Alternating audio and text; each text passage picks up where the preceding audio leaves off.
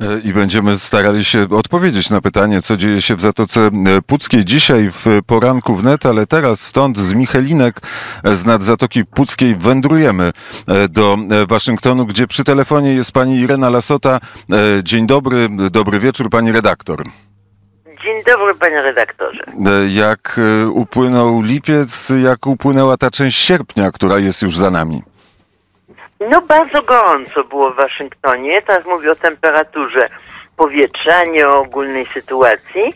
E, I w tej chwili następuje podobno kolejna fala wielkich upałów, czyli tak 35, prawie pod 40 stopni, ale to można wytrzymać, bo tutaj prawie wszystko jest e, klimatyzowane, więc w sumie dobrze. A pan redaktor, jak spędził wakacje?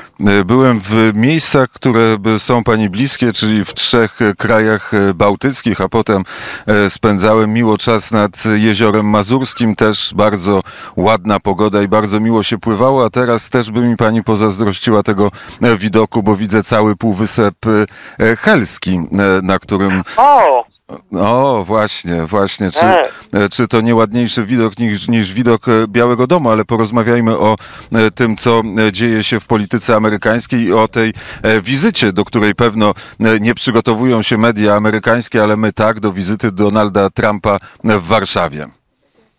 Tak, no o tej wizycie nawet pytano prezydenta Trumpa y, chyba dwukrotnie, publicznie, więc on zwykle odpowiada, że strasznie kocha Polaków, Polacy go strasznie kochają, ale to będzie rzeczywiście dłuższa wizyta, jak na prezydenta Trumpa i nawet niewykluczone, tutaj nie wiem, czy mówię serio, czy pół serio, że przedłuży się nawet o jeden dzień, skoro prezydent miał z Polski, prezydent Trump miał z Polski lecieć do Danii, ale w tej chwili, jak wiemy, jest e, jakiś rodzaj e, konfliktu czy napięcia między Stanami Zjednoczonymi a Danią.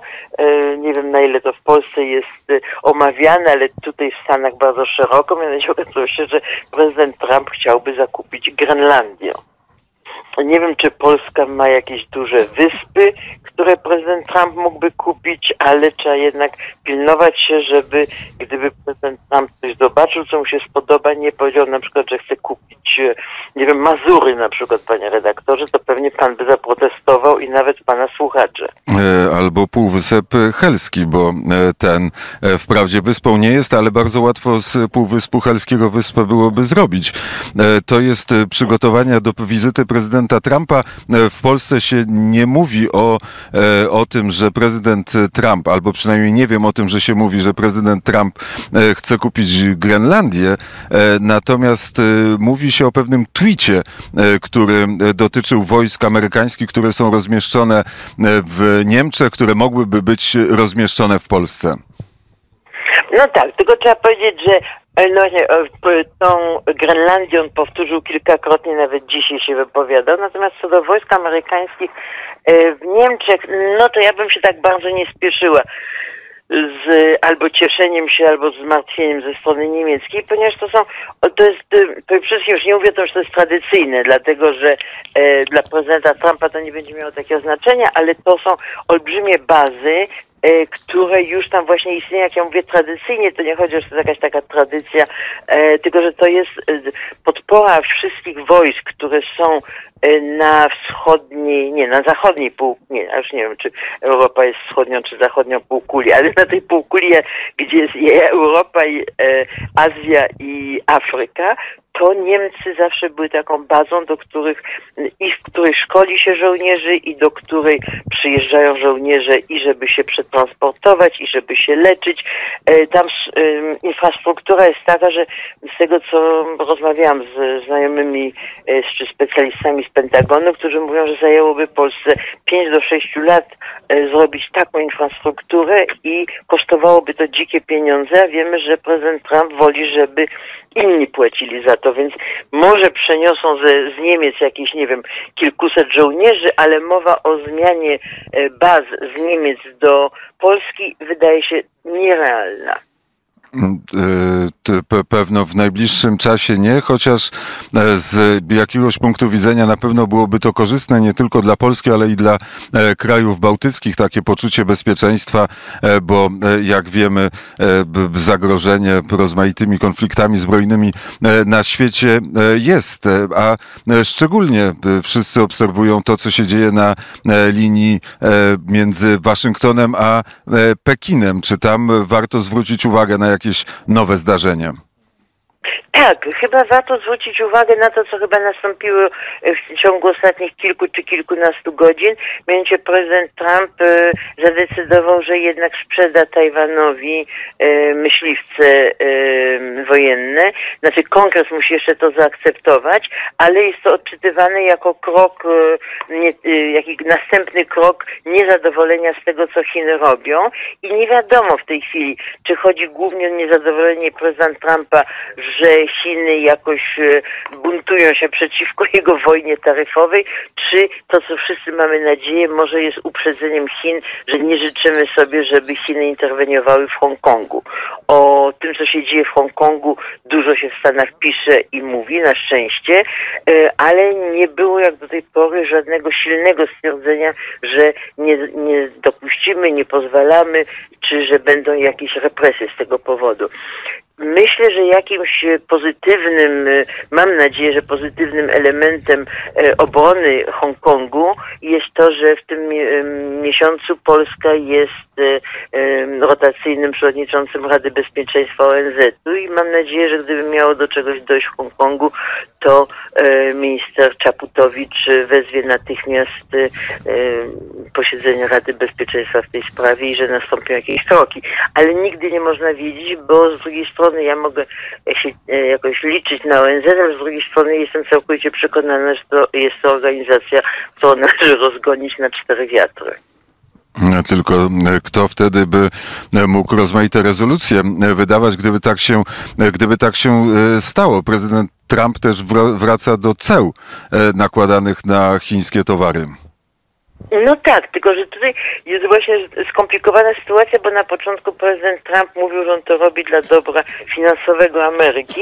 Potem e, się okazało, że bardzo na tym cierpią e, przede wszystkim rolnicy, farmerzy, ale też e, różni przedsiębiorcy i przede wszystkim handel na tym cierpi. Ale prezydent Trump się bardzo upierał, że w ogóle to nie ma żadnego wpływu na politykę e, gospodarczą w Stanach, ale kilka dni temu nagle powiedział, że cofa niektóre sankcje, czy przekłada Janek Grudzień, żeby Amerykanie nie nie ucierpieli za bardzo w czasie świąt Dziękczynienia i świąt Bożego Narodzenia. Więc tutaj jakby przyznawał z jednej strony, że wie, że to może uderzyć w e, Amerykanów, a trzeba powiedzieć, że w tej chwili prezydent Trump patrzy na całą Amerykę jako na potencjalnych głosujących. To znaczy on bardziej niż ktokolwiek inny w tej chwili jest zaangażowany w swoją kampanię wyborczą i jest to, można powiedzieć, dosyć e, rzadki w historii prezydentury amerykańskiej, ale bardzo silnie. Znaczy każdy wiec, czy każde spotkanie, które on teraz organizuje, to organizuje jako wiec wyborczy. I to samo dotyczy taryf nałożonych na Chiny, że wahają się, czy jego właśnie Twittery, czy kroki wahają się w zależności od tego, jakie są głosy potencjalnych wyborców. To jeszcze otwórzmy e, rozdział pod tytułem Iran. E, z naszego studia w Bejrucie dowiedzieliśmy się, że e, tankowiec, który był przetrzymywany przez Iran, został dziś w nocy uwolniony, a w tej relacji amerykańsko-irańskiej co się teraz dzieje? No to jest bardzo, znaczy tu właściwie powiedziałem, że to bardziej dotyczy stosunków amerykańsko-europejskich, ponieważ Gibraltar który jest e, terytorium, posiadłością Wielkiej Brytanii, wypuścił ten e, tankowiec, mówiąc, że sankcje, które Stany Zjednoczone nałożyły na Iran, nie obowiązują Unii Europejskiej. I to jest moim zdaniem najważniejsze w tym wszystkim, że jest to pierwszy raz, pierwszy krok, że e, państwo, które jest częścią Unii Europejskiej, bo Gibraltar nie tylko jest częścią Unii Europejskiej, ale już jest zgoda co do tego, że jeżeli będzie Brexit, to Gibraltar też zbrexituje się, że Unia Europejska ogłasza, że po prostu to, co było wiadomo, ale po raz pierwszy oficjalnie powiedziano, że Unia Europejska nie będzie się stosowała do sankcji amerykańskich. To być może osłabi e, stronę amerykańską w sporze irańsko, e, amerykańsko-irańskim. Nie wiadomo, czy to wzmocni stronę irańską. E, Natomiast był taki moment, kiedy Iran był głównym punktem odniesienia prezydenta Trumpa, ale w tej chwili wydaje się, że jest kilka innych wokół, między innymi Korea Północna, no i sprawa oczywiście Rosji, czyli nie tylko mm, tego wybuchu, nie wybuchu, śmierci pięciu, siedmiu czy więcej naukowców e, na północy, ale nie wiem, czy już wiadomo e, w Polsce, że dzisiaj Rosja wydała no bardzo dla siebie charakterystyczne oświadczenie, że naukowcy rosyjscy nie mają prawa spotykać się z żadnymi cudzoziemcami bez zezwolenia. No to jest taki powód do ery breżniewowskiej i ciekawe właśnie jaka będzie na to reakcja, zwłaszcza, że ja bardzo też śledzę to, co się dzieje w Moskwie. E, Myślę, że to po raz pierwszy od wielu, wielu lat e, tam widać też jakąś spontaniczną reakcję na, e, na putinizm i z drugiej strony, bo na to można patrzeć też ze strony amerykańskiej, że e, być może to nawet osłabi entuzjazm prezydenta Trumpa dla Putina, jako że e, no, Trumpowi może się nie podobać, że ludzie wychodzą na ulicę przeciwko Putinowi. Więc tu jest sytuacja skomplikowana, ale ostatnie dwa tygodnie, lata e, sierpnia w Waszyngtonie są takim momentem, kiedy prawie wszyscy przysypiają. Amerykanie biorą zwykle bardzo mało urlopu, ale jak biorą, to są to zwykle te dwa tygodnie aż do e, Labor Day, czyli jakby święta pracy, które w tym roku będzie bardzo wcześnie we wrześniu, a potem chyba zacznie się znowu wielka kawalkada. E, A prezydent Putin nie odpoczywa, chociaż e, jedzie do Paryża. Czy coś o tej wizycie prezydenta Putina w stolicy Francji się mówi w mediach amerykańskich?